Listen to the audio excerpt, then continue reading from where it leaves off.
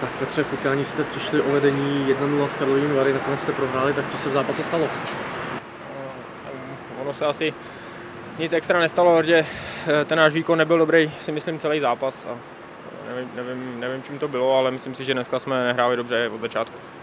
Eh, Máš za sebou první zápas eh, za Litvínov, tak jak se ti hrálo po letní přípravě?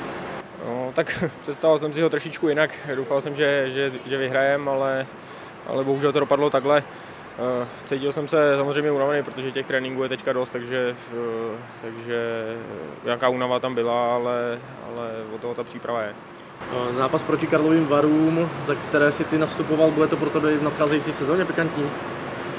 Tak nevím, jestli pikantní, ale ono tam dneska těch kluků moc nehrálo, tě, protože přijeli v nějaký, nějaký omazený sestavě, takže, takže dá se říct, že možná polovinu kluků jsem skoro ani neznal.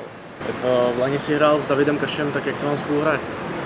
Tak my jsme spolu hráli už, už, už ve Varech, ale teďka nějaký tři nebo čtyři roky jsme, jsme hráli od sebe a teď si samozřejmě ještě, ještě na sebe určitě zvykáme. Jo. Byl to dneska první zápas a, a na tom tréninku ten člověk do sebe tak nedostane, takže já doufám, že to bude rozhodně lepší, než to bylo dneska.